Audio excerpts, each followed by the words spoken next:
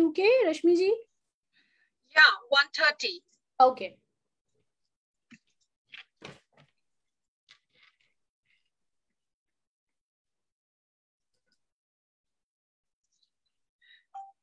Yes, we are live. Live. Yeah, you can start. Should we start? Yeah. Yeah.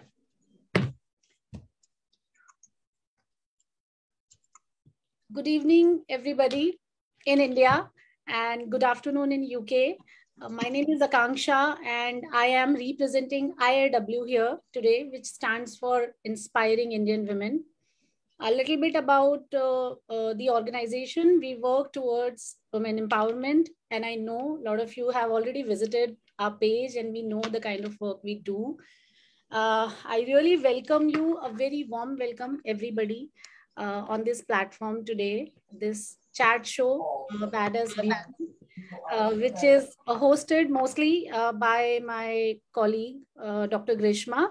But today, when I was asked to host the show, I was like, okay. But then the moment I got to know about the guest today we are having and uh, the subject uh, we are touching today, I there was no uh, single thought about it. I was like, I am going for it uh, because that's one subject which is very close to my heart, as well as uh, that's one topic which I also contribute towards my organization. So, to welcome my guest, I have few things to say on her introduction. So, uh, she's hailing from Mumbai in India, has worked over a decade and a half in the corporate sector across borders. Her double masters from a foreign university gave her tools for a career for a career but uh, her personal life experience gave her tools for life the setback of an abusive marriage post separation abuse and a messy divorce and a result which resulted a trauma have been game changer for her it took a while but on her healing journey she has found herself learned to thrive and found her life's purpose. Ji is now invested in practicing as a domestic abuse coach. Ji is now working as a domestic abuse coach and helping a lot of women out, out there.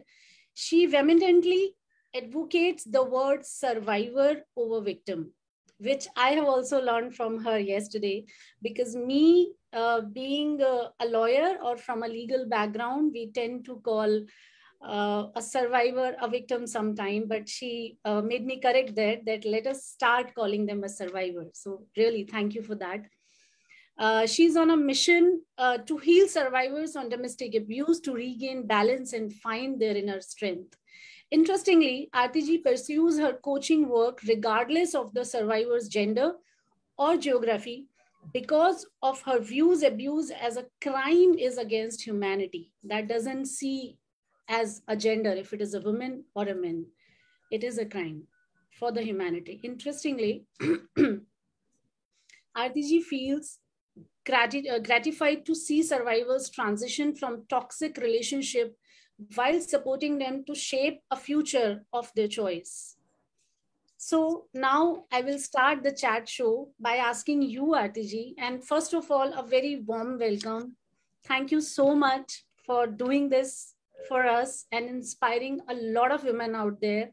I know you're already doing it, but I'm sure today a lot of us will get inspired after this uh, chat show. We will learn a lot of uh, things, our rights, and probably everybody would have a, a, a different perspective after this chat show today. So a very warm welcome to you. Thank you, Akanksha Thank you so much. And my immense gratitude to you and IIW for having uh, invited me to the platform. I am delighted. I am delighted more because um, this subject is very sensitive, as all of us know it. I'm also delighted that finally we are talking about it on a very large platform that serves humanity, that serves not just women, serves the cause, serves humanity, so much so that it is probably our time to do something about it. And uh, again, gratitude that you gave me this opportunity to speak Thank today. You. Thank, Thank you, you. so much.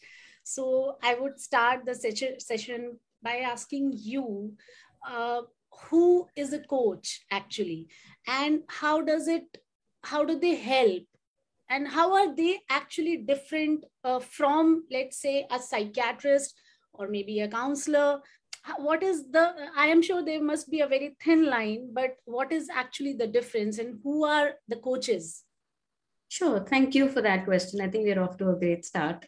Uh, this is uh, uh, quite an illusion a lot of the times that coaches are psychologists and psychiatrists or the other way around. And in India, particularly, the definition of a coach is not very clearly understood because, as an industry, it is not as uh, old as it has been in the Western world. So, knowing about coaches, knowing what coaches do itself is a kind of awareness that we need to build. So, thank you for that question uh, a coach and a psychologist or a psychiatrist have actually a lot of differences. Uh, and we could probably have an hour's discussion only on that. But as you said, it's a thin line. So just let's focus on what these couple of big differences are so that our audience get clear about what we're talking about, what a coach can do. So, see, essentially, a psychiatrist or a psychologist have university degrees if you purely go by credentials. And the field has been fairly old in, on, in the world, on the planet as such. Uh, a coach does not necessarily need uh, a degree because there doesn't exist one. Although coaches do have specific certifications, and coaches essentially work on messages. Uh, what is the kind of message that I'm talking about? So, a coach again is different from psychologist or a, psychi- a psychiatrist, depending on the message that they have to give to the world or the gift that they have to give to the world. Um, a coach, essentially, like I said, works on their experience and works on their niche, which means to say that even a, a certification, even added to a certification, what a coach would do is make their mess a message or their pain their purpose. So, as much as uh, I have done that, uh, I used my experience of domestic abuse, my learnings from domestic abuse, and created a niche to be able to serve people. While anybody is welcome to my room for coaching, I specialize in coaching for domestic abuse survivors, men or women.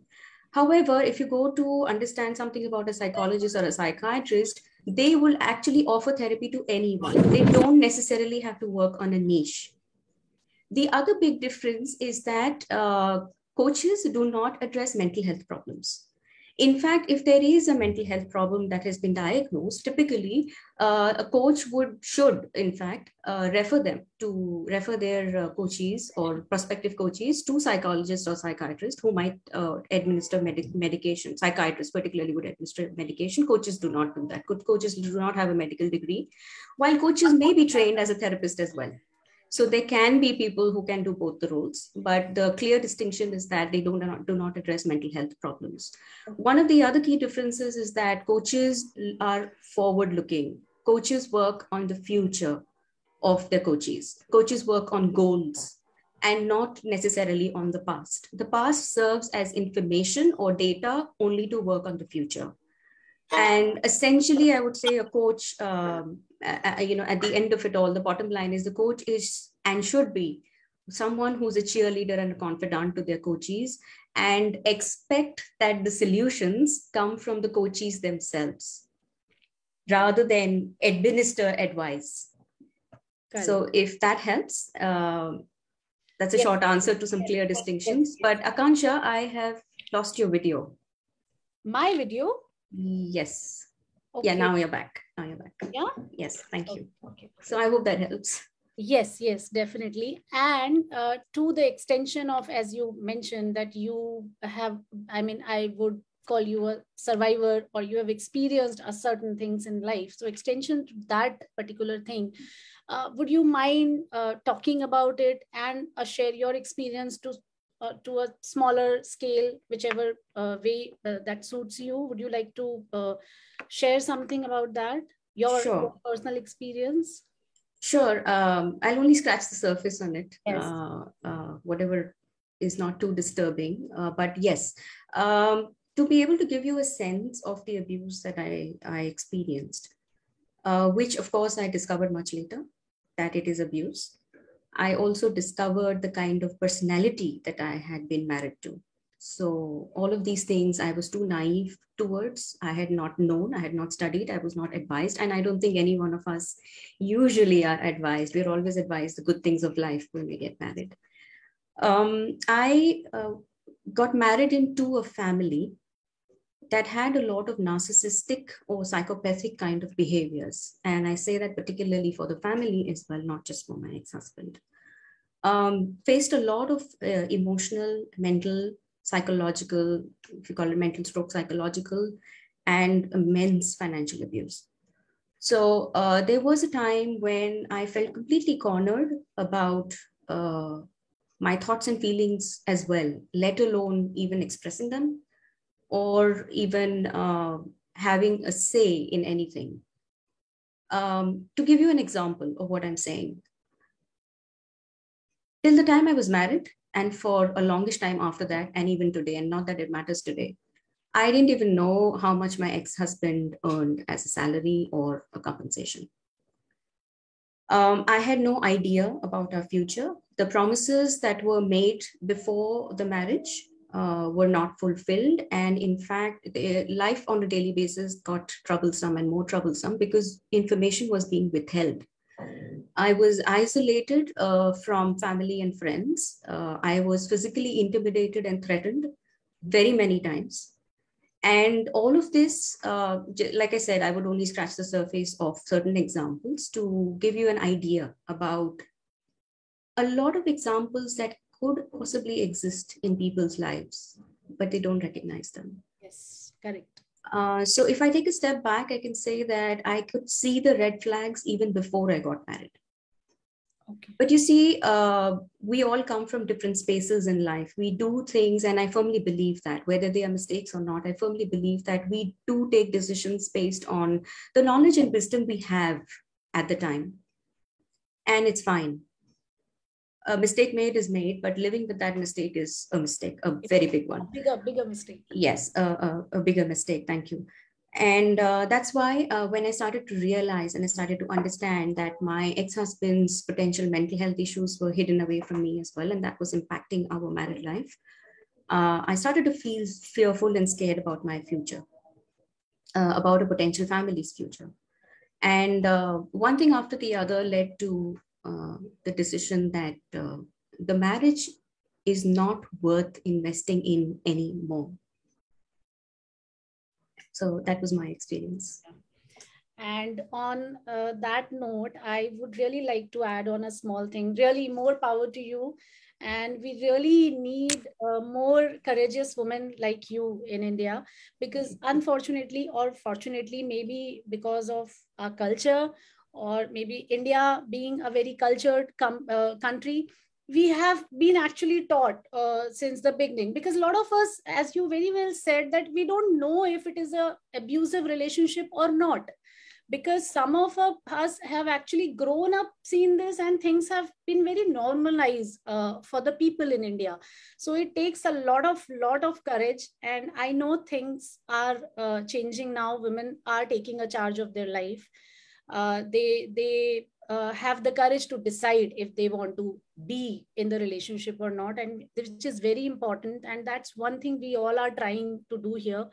Because uh, sometimes we also when we uh, as uh, personally when we handle uh, cases of uh, you know uh, survivors or victims whoever you know you call them they call us for the help.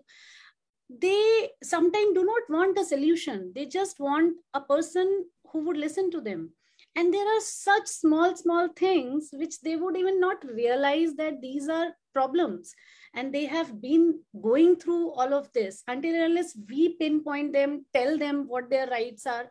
So actually yes this this is a very uh, sensitive and an important topic and it should be talked about. We all should talk about it so uh, how have you actually come out of this? When was the time when you took a charge of your life and you decided no that is it. I am i am sure it must have been very very uh, difficult because as a woman i as a woman as a married woman as a mother i can understand. It is it's not easy. You have so much of baggage baggage of parents baggage of families social baggage kids what will happen to my kids. It is a difficult call to take.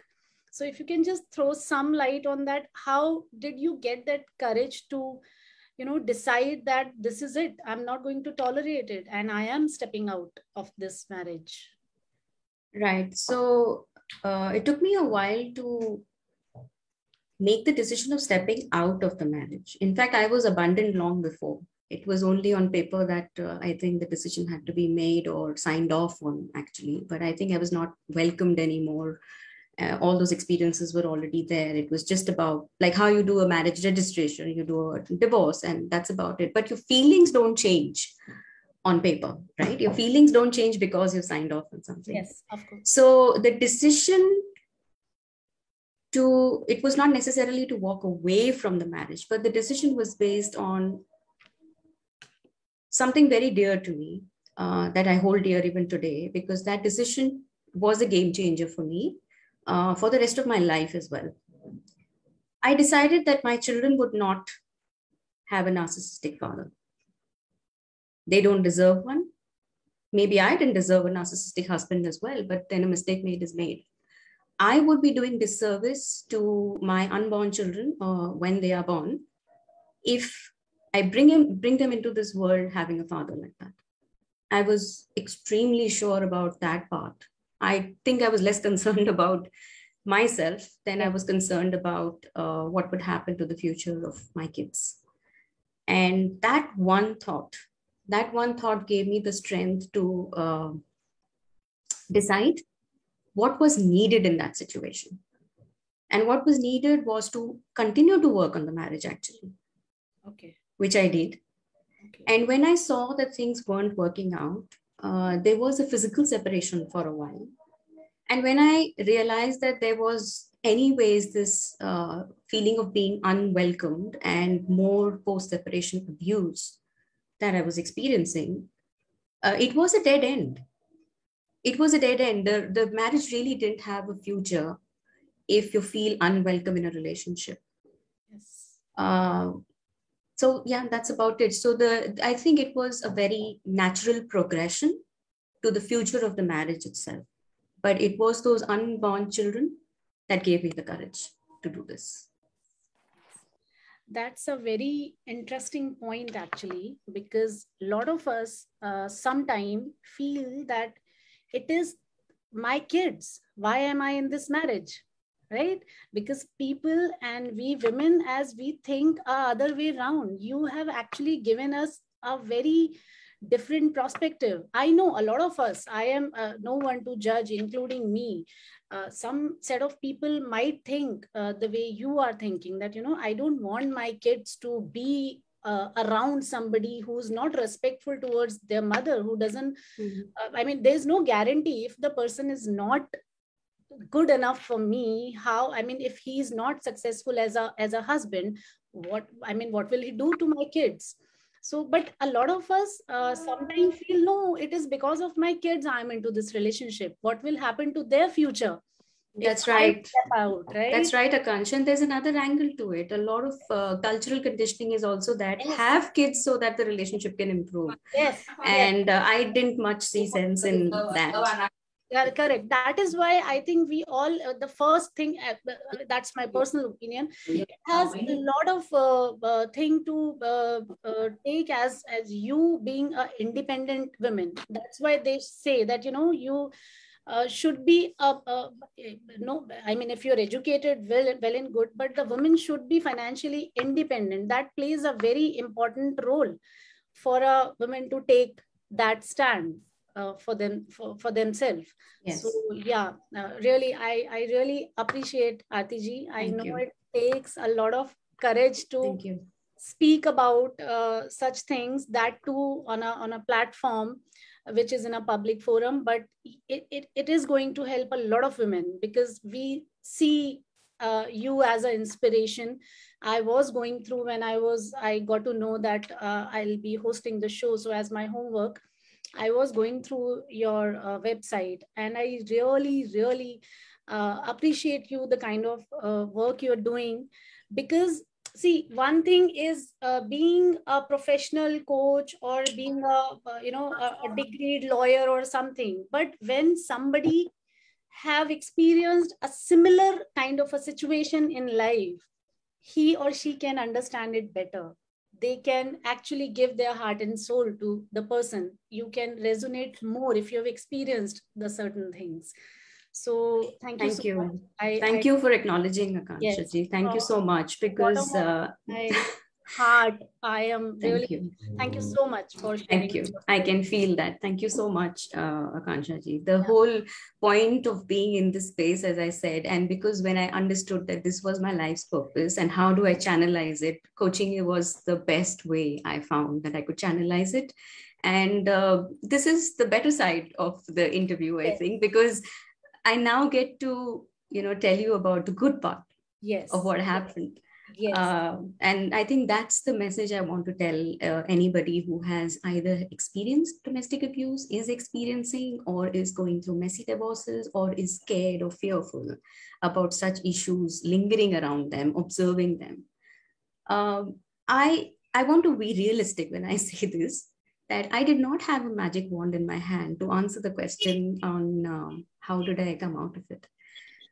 Nobody has a magic wand about it. We are all humans. We all have our emotions and feelings. There is it's, it's not mathematics and 2 plus 2 can be 100 Yeah.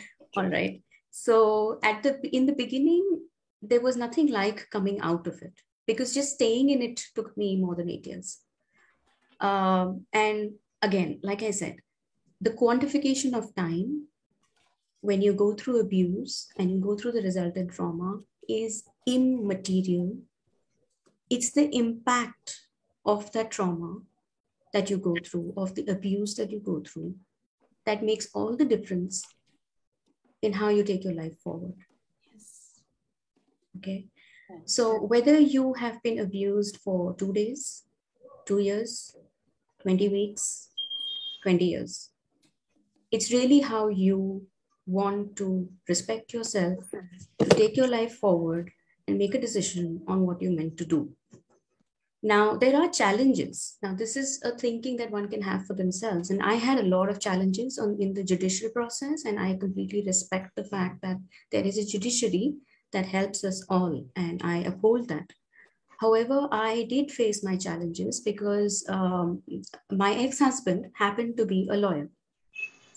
So he, as you can imagine, because you're a lawyer yourself, and uh, due respect to that, he was always two steps ahead. And an abuser is an abuser is an abuser. They don't change. Once they've decided that they want to be like that, nothing usually changes them, especially if they are of narcissistic personality. So even if you are physically away from them, they will find other ways to abuse you. And the best tool for him was to do that through the legal process. One, because he was narcissistic, and the other, because he was a lawyer himself. So I came under a lot of pressure. And therefore, although the walk away from the marriage had happened, the walking away from the abuse hadn't. Uh, so that stayed for a very, very long time. And for me, I was literally just drifting, literally just scratching the surface of surviving for many, many years. And I didn't know what tomorrow would hold. I had no idea. I had no plans. I had no dreams because all my dreams were already shattered by then. And uh, all of this uh, manifested itself in psychosomatic illnesses, uh, a lot of social apathy, a lot of unsolicited advice, which I wasn't ready for, a lot of pressure. And considering uh, cultural conditions, and if I can add this, uh, I was fighting legal battles in two countries, not just in India. Yes, because I was overseas after my marriage. So it, it was a bit complicated between the two I countries. can understand. Yeah. And as a lawyer, yes, I'm sure you do. I can. I can yeah. So while there was a part of me who knew that this has to end, logically, it just didn't make sense uh, to drift in my younger years like that, to continue to be abused for somebody sitting thousands of miles away, and for not having been cooperated by anybody from their side of the family. At the end of the day, my questions always used to be why me? And I think that's a very common question for anybody who suffers, not just domestic abuse, but any kind of suffering. Yes. Um, I think I fell in the same rut as most humans do. Why me? And then I changed the question. I changed the question to what next? Somewhere the universe heard me, and I think uh, things started coming my way. I didn't still recognize them, but although this might sound a bit abstract, things did start coming my way. And one of my very good friends first pushed me into some spiritual practices. And when I say pushed, it's because I resisted and i was resisting because i had already seen so many changes so many tumultuous changes. I was literally living like a gypsy for many years uh, between two countries and trying to find my standing and not having uh, a regular uh, income sometimes no income at all. A lot of lot of things. Um, so i said this is not going to work. This is all humbug it doesn't work. And uh, i don't have the patience for it all of that. But i decided that i'm going to listen because this is one person i trust and why do I bring that up? Is because uh, having gone through all of these experiences, your level of trust and faith in anybody yes. literally goes into the negative. Anybody, even if they are uh, very, very good friends or family, you just look at the world as if they are your entire enemy. Uh, I mean, they are one big enemy.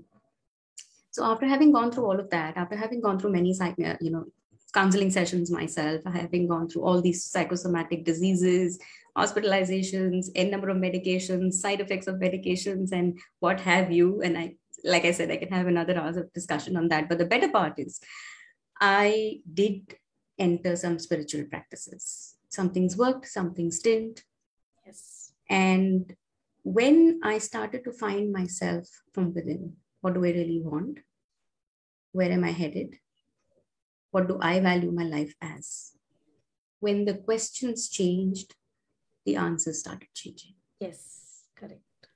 And uh, that's when I decided that I will never ever again think of putting my happiness in somebody else's hands. And that's it. That day, I started taking steps, and I knew that it's going to be another very big, long, tumultuous journey because for these things, again, two plus two is not four. I didn't know where I was headed, but I knew the direction was better than before. And uh, despite the fact that I lost legal battles, I lost my sense of balance, there was still so much trauma. I decided that I do have to take one step in the right direction, and I did. And things have been definitely better. Uh, spirituality, philosophy, coaching. Uh, this became the most eclectic mix I could have ever experienced for myself. And I am truly, truly, truly grateful to the universe for bringing those little miracles, from bring, bringing those lovely people in my life who guided me better. And I just said, I don't know where I'm headed, but I'm definitely happier. Yes. And so I took each day as it comes, as it came. I worked on myself a lot, a lot. I just went inwards and I said that I'm not going to be putting myself in that situation ever again. It was a promise to myself. And to fulfill that promise, I said, I'm going to do anything that's legitimate to do and continue to do that. Whether it takes my finances, because it already drained enough, right, in my marriage and post marriage and all of that. And I said, then why not working on myself? So I did. Uh, I pumped in more money only to work on myself and pumped in more time. I gave up career choices. I said, now this is my purpose and i slowly and surely came out of it. And the day i started helping other people i just knew that uh, the universe has given me my purpose. That was your calling. Yes. You said you didn't know uh, what are your plans and what are you going to do in future but definitely god has better plans. And uh, he wanted you to help a lot of other women out there who are even listening right now or who would watch this video. And with your work i'm sure you're helping a lot of uh, women. Sometimes we don't know actually that we are inspiring someone. We are talking to somebody and somebody is getting inspired. So um, uh, let's i think we are done with the sad part. We are we are so happy that you are here. We are so proud of you. You're inspiring all of us. Let us start uh, talking about a little bit about the work as a domestic abuse coach. Uh, i would really like to know uh, what kind of a work nature you have. What i mean what is uh, what is behind it? What, what kind of a work you do sure. Let's just talk about your work a little bit yes now. let's get to the good part. Yes let's get sure. So uh, see uh, like i said we make our mess our message. And from all the understanding and learnings and skill development and the way i got coached as well i put together elements of what was required for somebody who has been in either of these categories, like going through messy divorces, uh, having already faced abuse in the past, or is currently facing abuse uh, of the domestic kind, particularly spousal, although domestic abuse per se is, of course, much larger and wider, as you know. But particularly spousal in this case is because that relationship has a completely different nuance. And a lot of the issues that I've seen emerging, which of course were mine as well, um, were a lack of sense of self worth a lot of uh, self doubt, uh, complete shattering of confidence, a lack of clarity of going forward in life and how, and of course, a huge deficit of self love. Uh, and of course, a lot of limiting beliefs as well, because you may have been fairly confident as a person, you may have been fairly clear as a person, you may have been possibly having some sense of self worth already, but a marriage of this kind can change a lot of things in your own personality. And because you feel very controlled, you you all the years that you may have invested in yourself before, if if you have, can also go down the drain. You can start to feel very very um, worthless, uh, feel very much like a burden or a pressure on yourself. Is it is to tackle those kind of thoughts and feelings and to bring you back home is what I have designed my modules on to help people who are going through this abuse. Because remember one thing that uh, we're talking about the abuser more than the person who's abused here. If you notice what's happening, right? You have images of the abuser. You you know that uh, we're particularly talking about this because the abuser was involved in all of this. Otherwise, we wouldn't have been talking about this. But that's the point. When you go through abuse, the focus is the abuser. Yes when the society talks about it or when the family talks about it or your friends talk about it the focus is the abuser. Whether good or bad but the focus is the abuser. Clearly. When you approach authorities the focus is the abuser. When you approach lawyers the focus is the abuser. When you're when you're in counseling sessions you know there's there's a lot of focus again on the abuser. What did they do and how did you react and blah blah blah. And when you try to take a step forward in your life the focus is the abuser because you're holding yourself back, thinking that I'm probably not worth going in to make that decision of my life, since your decision making ability also gets really squeezed out in a marriage like that. Yes. What I do is while I coach, I make the person who survives the biggest focus of their own lives. Turn the focus on yourself you are the one who's important, not anybody else. So I have designed my modules in a way that we work on all of these aspects so that the survivor feels that they've come home. They've come home to themselves. And I took a long time. But one of the reasons I became a coach was to accelerate the survivor's results so that they don't take as long as I did to come out of these issues.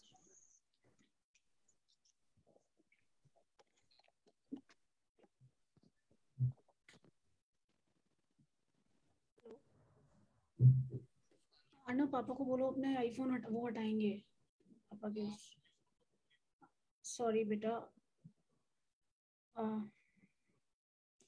just tell Papa to switch off the this thing. I have been uh, listening to you uh, and uh, remarkably, you know, remarkable story, very inspiring, very inspiring. Um, I'm completely uh, lost for words what you have done and how beautifully you have carved your life to do uh, support others. Um, so Akanksha, yeah i'm so sorry rashmi ji. Actually my laptop got connected to somebody else's device. I'm really sorry uh, no worries. Carry, carry on. Yeah please. So yeah uh, as you said very well said that yes uh, we unknowingly or knowingly rtg we give a lot of attention to the person we actually don't want to resonate with anymore or we don't want to continue anymore. But we keep on giving him the importance in each and every step of our life. And then even if we end the relationship we as a women we keep on blaming ourselves only. Maybe as you said very well said the it is a lack of self-worth. So yes thank you. Thank you so much for uh, uh, you know teaching uh, ladies. I think they should now uh, uh, everybody uh, would be aware that what a coach is and how important they are to make them because you know we all watch a lot of uh, youtube uh, videos and we there is a lot of gyan out there these days even you know online. But it is a one way communication. You somebody is just talking and you're listening. Even i personally watch a lot of uh, such videos but sometimes when they say something i have a lot of questions to ask i have a lot of queries but of course you know we can't do anything about it. So yes i think people should uh, uh, feel the importance of having somebody in life. As you said you had friends who were very helpful to you in your early stage. And uh, there should be someone who can guide us through all of this. And i'm sure that you are playing a wonderful uh, role in that uh, sense coming to my next question uh, Aartiji, i would really like you to uh, advise a young women a girls in general regarding a domestic abuse or maybe to realize that uh, even in the outer world if they're there so how can they actually protect themselves? How can they feel or realize if they are being you know targeted or if they are into any sort of abusive relationship be it a friends husband wife boyfriend girlfriend whatever mm. Mm. Okay. Um, so the advice, more than the advice, it would be, you know, just conditioning to begin with that, uh, yes, we do have a certain type of culture and not just in India, it's all over South Asia or any other country where somehow women and uh, men role or gender roles are very specific. And somehow all of this also gets very complicated uh, in terms of what to expect in a relationship Okay. So again, to each his own. Every relationship would be unique, but there should be some kind of an alertness or awareness that a man or woman, you know, because we're talking gender neutral also when it comes to abuse, a man or a woman needs to be alert about any red flags.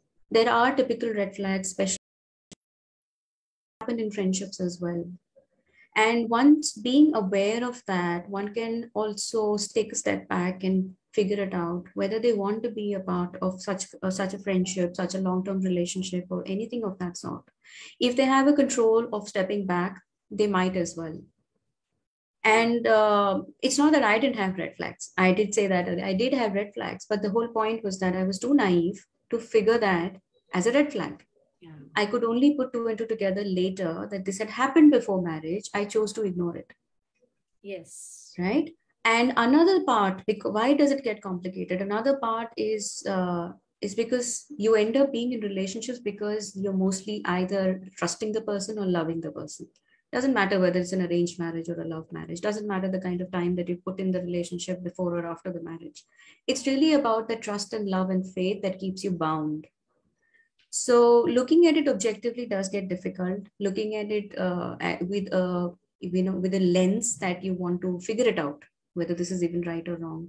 And when someone else comes and advises you, you tend to you know you tend to get angry or tend to get uh, you know how can you judge somebody that I have chosen for my life or things like that. But the whole point is that even if that happens, trust at least the wisdom of the people around you who, who are well meaning and try to take a step back the other part i would like to say is that don't you know don't showcase yourself as somebody who is desperate or needy for a relationship. Because you'll be lucky yes if the person is truly caring and understanding. But if you are in a relationship if you're running away from one and getting into another or if you're running away from something to get into this relationship and feel like it's an ideal marriage or an ideal thing to go towards i think you're you have a veil on your eyes. Yeah. so look at it as just a relationship that may mature may have a future but don't put your happiness in anybody else's hands be secure enough with yourself as a person be secure with your own finances and be secure with your identity before you commit to anybody I think from my limited experience, if that's something that helps. No, no, that really helps yeah. because yes, as you very correctly said that sometimes uh, we don't even realize it. Maybe a third person uh, can see it, uh, but we, we don't, uh, maybe uh, because we are so blind in a relationship sometime that we don't realize it. It is because our parameters are very different. I mean, okay, it's all right. As you and me were discussing about uh, the mm. movie uh, today in on a phone phone call, mm. it was about the Thappad. Uh, the movie yes. was two years ago, and uh, they have also uh, the subject was really interesting. They have picked up a very, uh, they have made a very sensitive movie, but yes, a lot of conversations has happened after that movie because it was mm. just about one Thappad. It is a one slap so uh, uh, uh, uh, some of the people, some of the women might feel, okay, why to overreact? It's just a one slap. And somebody would like, no, how can be, a, you know, it, why it is even a one slap also? Because there is no equality in the relationship, as you said earlier. So mm. yes, it it it sometimes varies uh, from your own perspective also. Absolutely, a very very pertinent example. Uh, thank you for bringing that up, uh, yeah. Kanchaji, because uh, that film definitely has a perspective. Yes. It's not a solution, but it definitely has a perspective. Every woman or every man should be aware enough to take their own decisions and figure out their own situations and even if they make a decision and even if that decision goes wrong accept it and acknowledge and move move because you need to then start figuring that there is life beyond that particular situation Correct. So keep making mistakes, but keep making those mistakes so that you can move. I'm not saying move on. Please, please check that. because uh, I truly believe that nobody really moves on. You know, your hurt, your trauma, all of that, in a way, doesn't define you, but shapes a lot of other things in life which helps you move with your dreams. Yes. Uh, uh, we learn, we learn, and we I think we keep learning till the time we go to the grave. And there's really not moving on. We don't really forget things, but how do we continue to respond to them differently? So as as far as this movie is concerned, I think if that lady took a decision of uh, filing for a divorce only based on one thappad, yeah, um, to each his own. Yes. I think that's wonderful that the lady had a mind of her own and there are so many others unfortunately especially in our country who would continue to bear a lot of abuse till the time they die and they won't even report it. No. So what makes these two women different Correct. right so there is a lot of differences in the way we make decisions the way we respond However, when there is a red flag, sit up and notice because don't let your trust and faith and love and hope for a future compromise on your self respect. Correct. Don't let that do it. Yes. As you said, keep making mistake, but I think we should stop repeating them. We should realize. So yeah, so my uh, next question to you uh, would be Aartiji, what is your observation about uh, it will be a little off topic maybe or a little different from whatever we are talking right now on a male uh, domestic abuse? Do you have any views on that yes it's very much on topic because yeah, like i said i i advocate for both men and women it is just that because more women are reported to have been going domestic abuse the world over uh, and we, we continue to even address the problem as he did this and he did that. But yes, males or men, young men, older men, uh, senior citizens, all of them continue to go through some kind of abuse or the other. But if we were to limit uh, our discussion, say, to the spousal abuse as far as men, is, men are concerned, there is a lot of emotional abuse that has been researched and brought up on data uh, about men undergoing emotional abuse. Uh, in, in India as well as a lot of uh, overseas. However, specifically in emotional data, there is not no particular, uh, I mean, sorry, emotional abuse, there is no particular data that has come out. But overall, abuse in men, you know, latest statistics uh, in the US say that one in three women undergo abuse and one in four men undergo abuse. So the gap is not too much. So we need to understand that abuse very much exists amongst both men and women. There are differences in the way they might project it to the outside world. And there may be also a possibility that men may not even talk about it because of guilt, shame, male ego, uh, the family repetition. There are very different reasons why men and women may not talk about it. In fact, let's take a step back. Men might actually endure more. You know, women, women can form communities, women have friendships, women are known to speak about this. Even if we say that most women don't, women are known to speak about this. In India, we have a law that supports women. Yes. Right. And only women. But uh, men, uh, I think, would find it rather difficult and i feel that it is a, it is a problem that exists between both and should be addressed between both as well. It's not something that can be related only to women and it affects other parts of life. So why not address it for men as well? Yes correct. Absolutely. Uh, so, uh, Aartiji, considering the situation we all are in, uh, pandemic, corona, work from yeah. home, uh, what has been your experience during this time? And what is your uh, observation regarding abuse and the and and the, the pandemic? Is there any connection? Have you seen uh, coming it a little down or is it increasing? Uh, what is what has been your experience with the pandemic? Uh, experience with the pandemic the world over as we know, it has really had a topsy-turvy effect on the world's activities. It's uh, one of the things that the UN, United Nations, particularly UN Women, researched was that there are some nine or 10 big areas that the pandemic has changed lives about. For example, unemployment, joblessness, unemployment. Uh, it's about relationships as well. One of the major impacts that the pandemic has had, the coronavirus pandemic has had, is on the increase in the number of domestic violence cases across the world. So much so, and the pandemic has now lived its life for over two years for us to now receive research and data around it. And the data that's emerging from the UN Women says that uh, about one in three, or let me just correct that, about 52% of unemployed women have been facing abuse, which is higher than the pre pandemic times. At the same time, 43% of employed women are also facing abuse. So the gap between employed and unemployment women, unemployed women is not too much as far as the aspect of the abuse goes. And the UN Women has come down to the extent of saying across their study of 16 countries or so, 13 countries, 16,000 women, I think, if, I, if my numbers are correct. They call it the shadow pandemic. So we actually have two pandemics, not one, at this time in the world, because the extent of domestic violence has increased a lot and the intensification of abuse has increased because the abused are spending far more time indoors with their perpetrators. So it's definitely a dangerous situation for those who have already been abused or have started to get abused. In India, closer home, the National Council for Women has uh, received about 200 and, uh, 2090 odd complaints around domestic violence in 2019.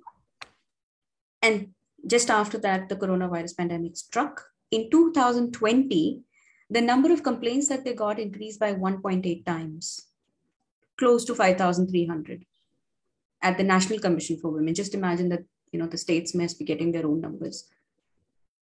So it's definitely increased. It's a problem that uh, needs far more attention than it, it ever did. Yes, it does. Right. Correct.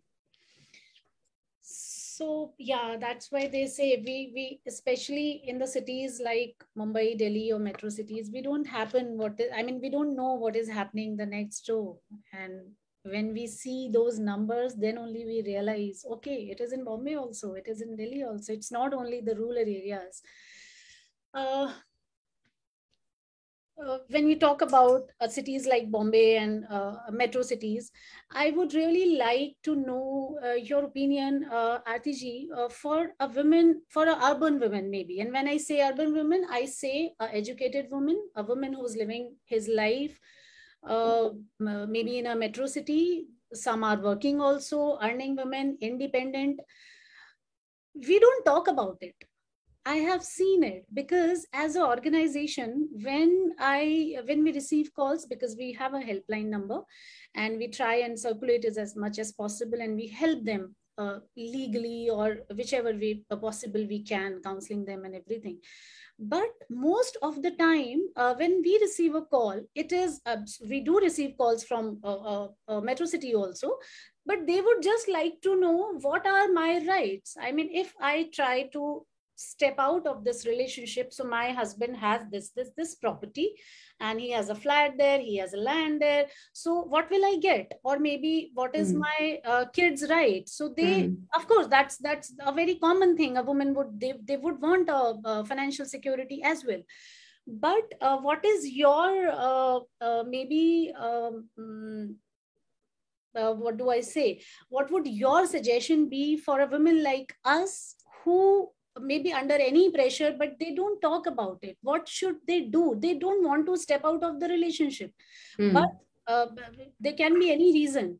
But as an independent woman as educated woman as a woman mm. who is living a li- good life but somewhere uh, in the corner they have a little abusive marriage. How should they handle it? What should they do? Should they come to you or i mean how how can they help help themselves Okay, so as I said in the very beginning, that uh, you know the coach essentially works towards the coach's goals with the coachee. In fact, the coachee is the one who comes up with the solutions, right? And we help the coachee navigate them towards that. As I said, the coaching journey is not easy, but it's one of the best things one can do to oneself to emerge from a situation and walk towards a goal with your own solutions, with the coach by your side as your cheerleader, as your guide and your navigator. Now, when you said that these urban women don't know, they are facing a little bit of abuse, and I don't know what the little bit means because abuse is abuse. but, uh, you know, the decisions are effectively their own See, abuse happens across social strata. You, you very rightly said that uh, we in, in metro cities, we shy away from speaking about it because we've been conditioned or socialized to think the media projects it to us like this or Bollywood projects, projects it to us like this, with due respect to Bollywood. But this is what a lot of us have grown up with, that all of this, the mardhar or the physical abuse or all of that happens in slum areas, areas. happens in lower socioeconomic, uh, you know, that was one of my shocks when I uh, went through abuse, just taking a step back and digressing a bit. When I went through the abusive incidents, for me, the first, you know, sort of first flash was that, oh, I've read this in the newspaper. Or I possibly saw it in some Bollywood movie. How can this be happening to me? And that for a long time, I used to say that, that, you know, really, is it happening to me? There's a sense of disbelief yes. attached to it yes. as well. So uh, uh, women may come to you with different questions depending on their background but the fact is that women from all social strata, and whether they're educated or not, have a career or not, are uh, you know really poor or not, abuse can happen to anyone, and it is not their fault. Yes, it is not their fault. So I'm not sure uh, if your question is how, why, why would they come to me? Well, the reason why anyone would come to a coach and particularly to a domestic abuse coach is to find their sense of self again, to find their inner strength to know where they are headed and how they would be wanting to head there. It's about finding your new you. Yes. I found my new myself, new me in this journey. There was quite a possibility that I would have been down in the dumps, drifting still, not having a direction, allowing other people to make my decisions or allowing other people to still control my life. Maybe not my ex husband, but i was already so down and out with my self-worth that i would have allowed somebody else to make a decision for myself. Right. and then i would have been unhappy even there. So the whole point was like i said that you decide. And if you are not clear about what you want the coach helps you decide. Yes. Right? And then take your journey forward from where you are to where you want to be. So any woman from any social strata is welcome to the room. And this is the kind of cobwebs we try to clear in the room that it's your life. You are meant to be the focus of your life. Take responsibility for your life and your happiness. Start moving towards it in the direction that you choose to. Yes. And uh, coaches don't promise results. And I'll tell you why. You'll say, oh, you do all this work and you don't promise results. So that's the curiosity part, right? Coaches don't promise results. The reason is that I'm not administering medication, right? I'm not saying, say, uh, this is an antibiotic dose or take it for five days and your fever is gone. It's not symptomatic. It's something that's deep rooted inside of you. You are responsible for your own results. And that's something we learn when we get trained as coaches as well. Yeah. You know, nobody promised me my results. But when I started getting my results, I knew that all that work was so much worth it. Yes. See, it's like you always have a choice, right? You cho- either you choose to continue drifting, take your life further downhill and further downhill and further downhill, and still have that abuser in mind and they're having a jolly good life wherever they are. Or you just take the reins of your life, decide that this is something I want to do, and start start towards it. And the anchor that you have in that space is a coach. Correct. Yes. So again, uh, long answer, but yeah, anybody, whether they're from metro cities, they are from any social strata, they belong to any background, they're fearful, they're not fearful, they're confused, they they have the clarity, but they want the courage. Yes. Any permutation and combination works. And that's why I have a clarity call with the coach, have a clarity call with me, and then we figure out where you want to go. In coaching, no one size size fits all. And that's why I said I cannot administer an antibiotic dose and say, you know, we do these five modules with you and you're out as a sparkling daisy. We don't do that.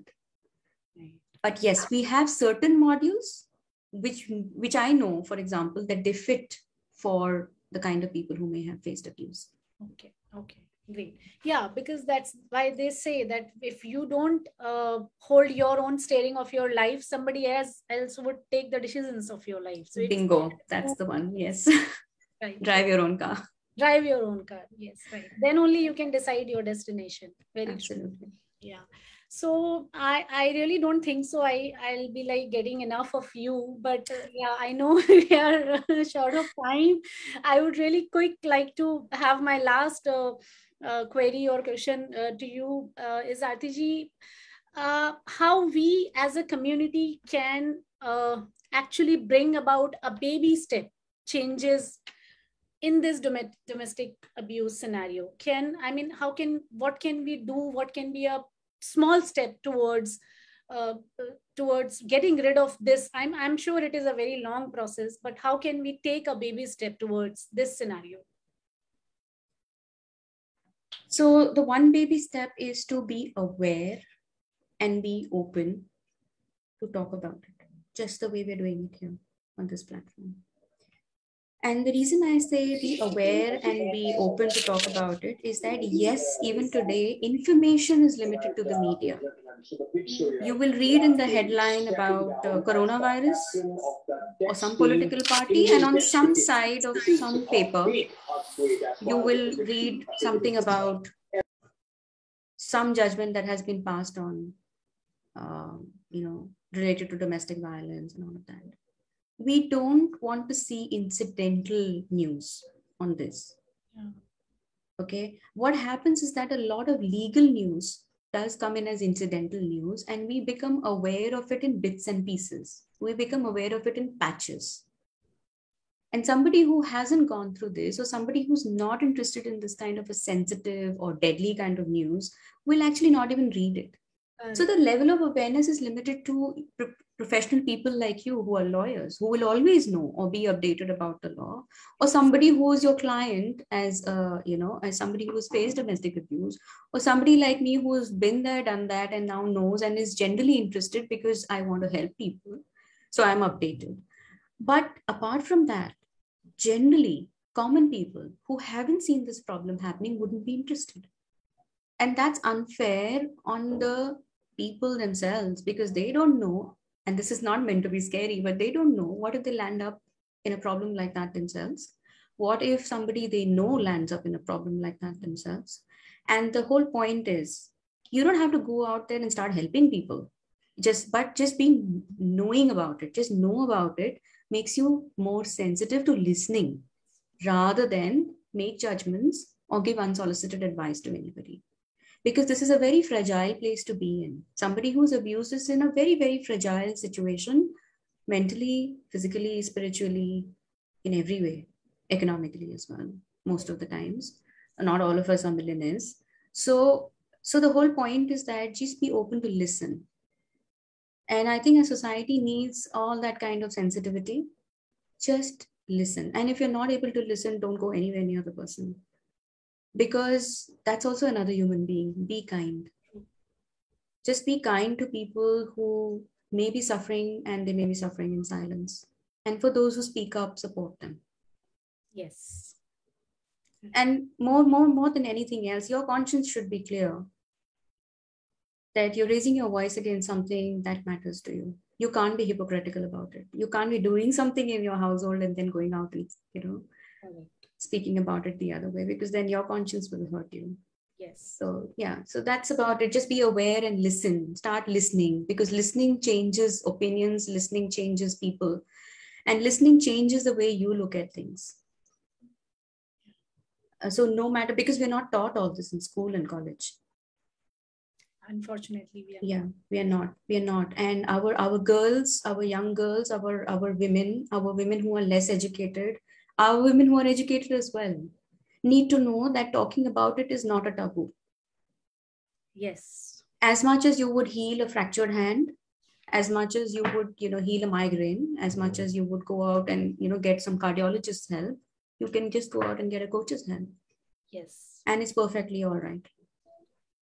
Correct. And I think it's a high time time that we all should speak about it get help if it's needed as they say uh, uh, you know if you uh, that's why uh, there are a lot of taboo uh, regarding the mental health also but thankfully mm. things are gradually changing yes. and a lot of women they don't talk about it they don't uh, maybe realize it i hope this session will be helpful for a lot of women this will be there on our facebook page also a lot of people would watch it maybe later on so thank you thank you so much uh, Aartiji for doing this giving us the time I know you're very busy, but you took out the time for this schedule. Uh, we are the entire team of IIW is very thankful to you for this interesting chat show. It was really informative. Uh, and uh, really, uh, bottom of my heart, thank you so much for doing this. And I hope that we should uh, collaborate more because uh, we do have uh, seminars regarding the anti-domestic abuse, domestic abuse, and I hope to have you sometime on the panel again. And I would like to, Rashmi ji, to say a few words. Thank you, Akanksha. Thank you so much. You've been great in hosting and uh, I, am delighted. I get excited about this topic in a nice way. And um, any little word that goes out there is service to humanity, service to the cause. So I'm really happy to be here this evening. Thank yeah. you. Thank you so much. Rashmi ji? Thanks a lot, uh, Akanksha, and thank you very much, Aarti. It is really indeed a great pleasure and privilege to have you on our platform. And hopefully, many, many more women can regain their confidence after listening to your story. And uh, believe me, we are inundated by phone calls and uh, how to go and how to uh, support. So we we are trying we're not trained ourselves in that manner but we would definitely want to be connected with you so that we can connect more and more ladies to benefit from your experience Thank you, Akanksha. You were wonderful, Thank fantastic. Thanks to all those who joined us at Inspiring Indian Women. Do join our Facebook group, IIW Global, as well as get in touch with our directors in India to join our WhatsApp group. This is an um, organization where you evolve, express, and expand Thanks a lot. Take care. Goodbye. Just one, Thank you. uh, Rashmi I'm so sorry to intervene like this. Just one, uh, uh, one small note. Everyone who's right now watching us, or maybe watch this uh, video later, if any of you would like to get in touch with Aarti her social media handles would be there on our page also. We will be uploading this video on Facebook. Uh, we will add the all the social media handles instagram facebook. You can get her get in touch with her. I'm sure she'll be a big help and she will change your life. So uh, thank you thank you so much uh, Aarti it was real I, i'm really uh, delighted to have you on this platform we are really happy thank you so much for doing Thank it. you. Thank you very much, Akanksha ji and Rashmi ji. Thank you very, May very your much for this tribe grow, platform. Aarti. May your tribe grow. Thank you. Goodbye, Thank you. everybody. Take Goodbye. care. Goodbye.